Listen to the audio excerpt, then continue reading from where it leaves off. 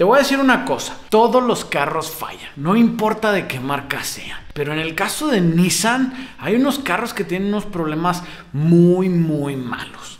Por eso hoy vamos a hablar de los problemas que tiene Nissan que los nisarnosos no quieren que sepas. Y aguas, porque igual y tu corcholata va a estar en esta lista, güey. Número 1. Nissan Sentra del 2000 al 2006, específicamente el de 2.5 litros. Y es que para mí el Nissan Sentra es considerado un caballito de batalla. ¿Y a qué me refiero? Bueno, pues a que aguantan un chorro de guerra. Al mismo tiempo, este carro es el raro ejemplo de algunos modelos que pueden tener un carro muy bueno, pero si cambias algunas especificaciones, puede ser una tremenda basura. Porque en serio, el Nissan de estos mismos años, que venga con el motor 4 cilindros de 1.8 litros y transmisión manual, es un carro bien, bien duradero, económico y que todavía lo ves dando guerra en la calle. Pero dentro de los mismos años, si cambias algunos detalles pequeños, como el motor, le pones en vez del 1.8 litros el 4 cilindros de 2.5 litros, ahí sí que ya valiste, gordo, porque este carro es bien, bien malo. Y es que en serio, los que sabemos de carros, sabemos que el 2.5 litros de Nissan es algo que quieres alejarte de él, porque este motor tiene fama de varias cosas. Primero, consumo excesivo de aceite. Vas a tener que estar relleno y relleno el aceite. Y si acaso se te olvida y haces que corra con muy poco aceite, te puedes meter en problemas grandes. Ahora, ¿a dónde crees que iba ese aceite? Ese aceite se iba a la combustión, el motor lo consumía y lo acababa escupiendo a los catalizadores, cosa que podría hacer que tus catalizadores se taparan. Y en el peor de los casos, los catalizadores se pulverizaban, se destruían y si algo de esas partículas se metía en tu motor, iba a ser una completa historia del terror porque tu motor se iba a destruir. Y por último, les encantaba tronar los empaques de las cabezas. No sé qué le pasó a Nissan con este motor, si fue algún error de diseño o si era un tema con los fabricantes de los empaques, pero en serio, que el Centra de estos años con el 2.5 le encanta destruir los empaques de las cabezas. Ahora, ¿qué puedes decir? Pues bueno, es un 4 cilindros, está ahí más o menos cómodo, pues lo cambio y ya. Sí, güey, pero si no te dabas cuenta, te ibas a echar tu motor y muy rápido. Ahora, este problema no solamente era del Centra. Como ya escuchaste, lo malo de este carro es el motor. Y este motor venía en más Nissans como el Altima. Y el Altima es exactamente el mismo caso. Si lo encuentras dentro de estos años con el 2.5, corre de él porque te vas a meter en un problemón. Número 2. El Nissan Máxima del 2002 al 2008.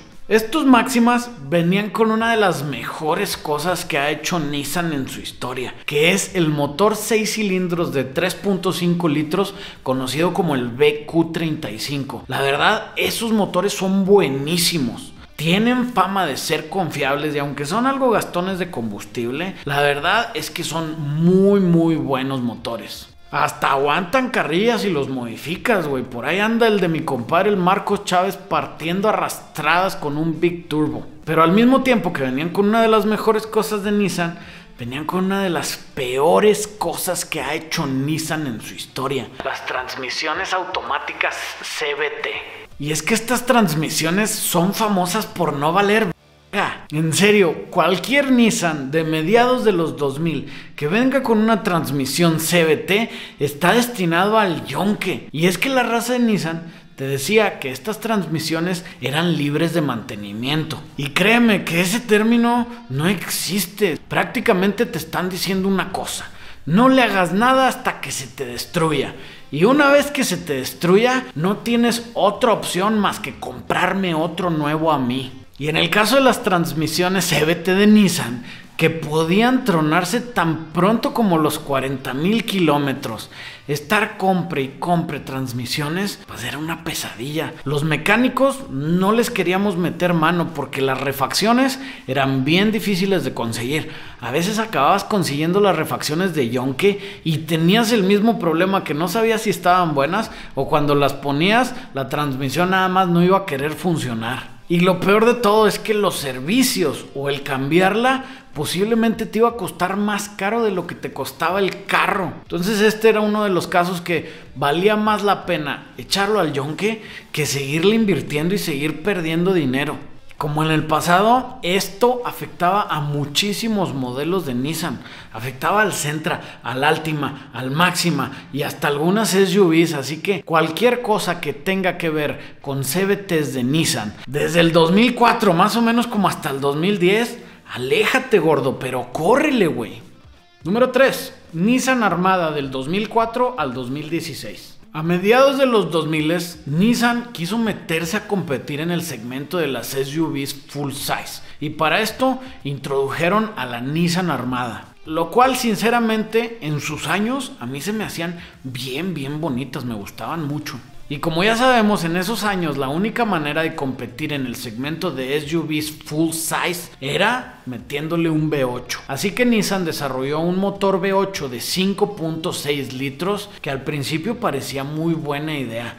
Pero tenía unos problemas bien, bien latosos y bien caros de resolver. Este motor tenía un problema grande con el sistema de escape y más específicamente con los catalizadores. ¿Qué les pasaba? Pues no valían madres, gordo. Lo que pasaba es que los catalizadores estaban puestos muy cerca de las válvulas y cuando se empezaban a degradar, empezaban a soltar partículas y se empezaban a tapar bien rápido.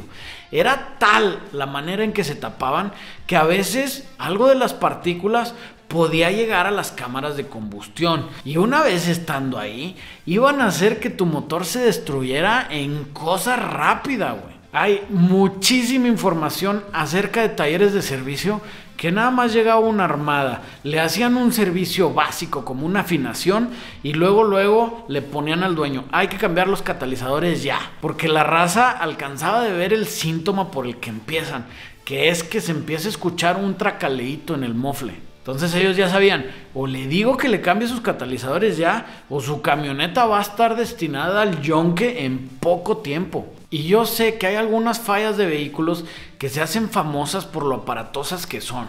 Más o menos como el tema de la Avalanche, que se prende el motor de limpiaparabrisas. Pero la verdad es que no es tan común. Pero en este caso, este problema era muy, muy común. ¿Y qué crees? También afectaba la pickup full size de Nissan porque compartían mucho de la plataforma. Sí, estoy hablando de la Nissan Titan, que por cierto, esta troca se coló en el video de peores camionetas de la historia que puedes ir a ver por aquí. Así que bueno, yo creo que quedó perfectamente claro. Nada de armada, nada de Titan que tenga el 5.6 V8. Ponle un LS, güey.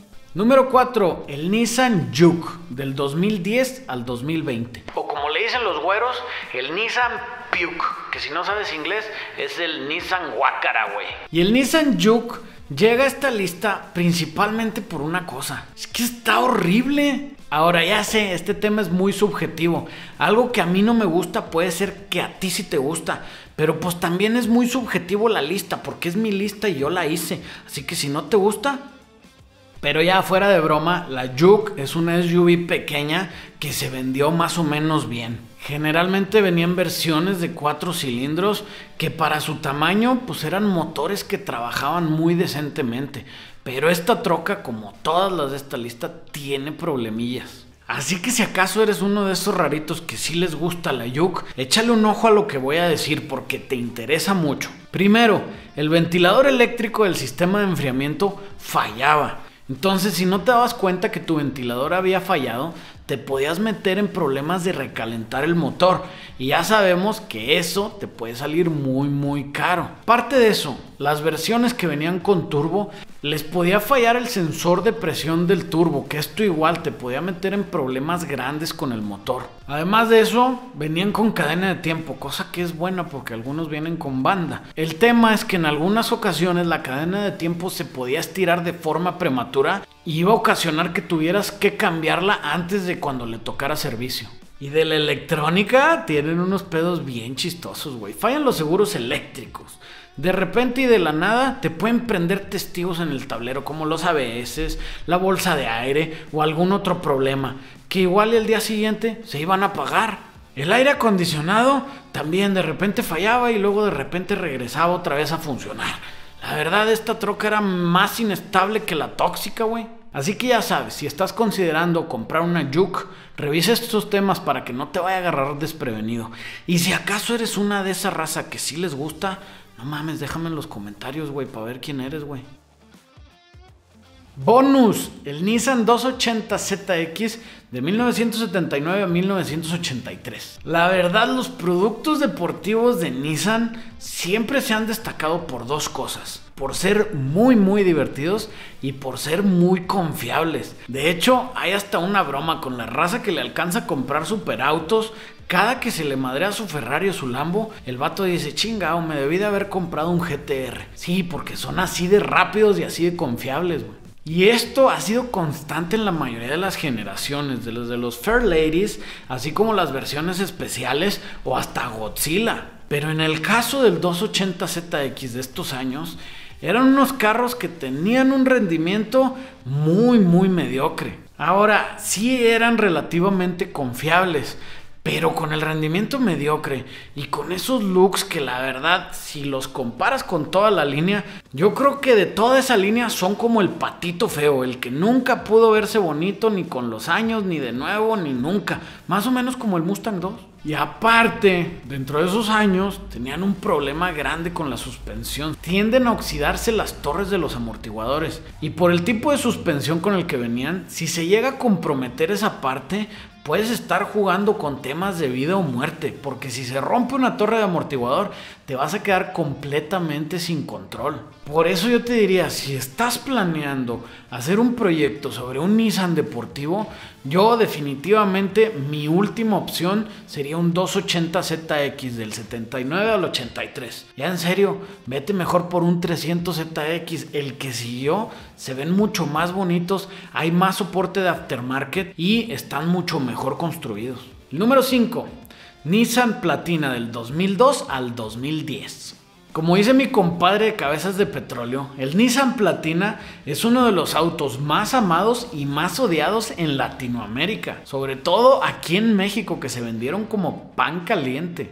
Y es que los que sabemos de carros entendemos perfectamente que Nissan tomó la plataforma del Renault Clio, le puso una cajuelita y le cambió los emblemas y le puso el Nissan Platina. Ahora, esto pues no tendría nada de malo, pero la verdad es que el Platina sí tiene dos problemas que también tenía el Clio que son muy muy fuertes. Primero, las transmisiones automáticas eran una tremenda basura. En serio, los Nissan Platina con transmisión automática tienen fama de ser malos carros desde casi nuevos. Todo mundo sabíamos que tenías que sacarles la vuelta y por ninguna razón comprar un Nissan Platina con transmisión automática. Aparte, su motor era muy temperamental.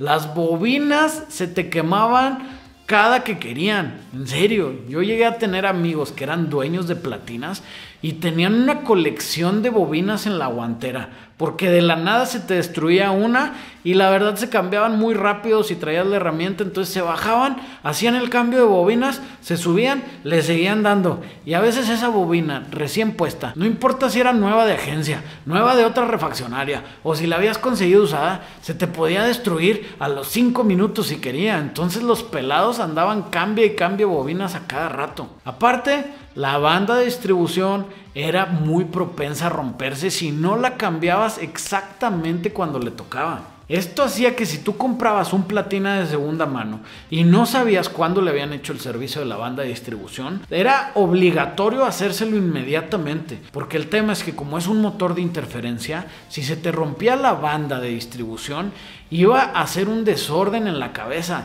se te iban a doblar válvulas, posiblemente se te iba a romper un pistón y se iba a convertir en una pesadilla. Así que si por alguna razón se te ocurre comprar un Nissan Platina, primero, nunca automático. Segundo, hazle el servicio de distribución inmediatamente. Y tercero, ve los tutoriales de YouTube de cómo cambiar las bobinas. Cómprate como una docena de bobinas, tráelas ahí en la cajuela junto con la herramienta necesaria y ponte a echar mecánica, gordo, porque te va a dar lata. No, pero ya en serio, güey, no te compres un Nissan Platina. Cómprate cualquier otra garra del mismo presupuesto que sea de Honda o de Toyota, güey, en serio. Así que ya viste lo peor que tiene Nissan.